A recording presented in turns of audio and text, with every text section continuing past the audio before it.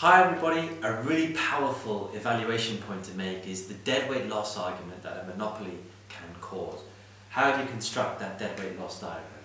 Well, we start by showing price, costs and revenue on the y-axis, so label it like that, and quantity on the x-axis. We then draw our revenue curves like we're used to.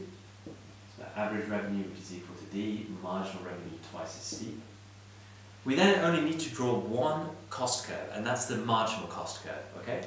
Uh, and you can draw this uh, from the y-axis like such. It doesn't have to be, but if you're being really pernickety, it just helps you work it out, okay? So drawing it like that, which is fine. We don't need an average cost on this one to help us uh, get to the deadweight loss.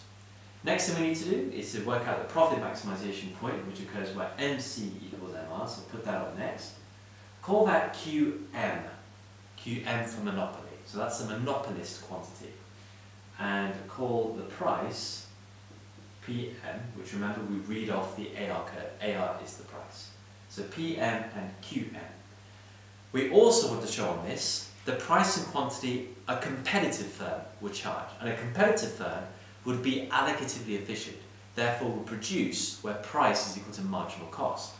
Where price equals marginal cost occurs there. Remember, price is average revenue, right? So where AR is equal to MC is here. And that gives us quantity in a competitive firm, or in a competitive market structure, and price in a competitive market structure. And this gives you the idea that a monopolist charges a much higher price and produces a much lower level of output. Alright? Not good.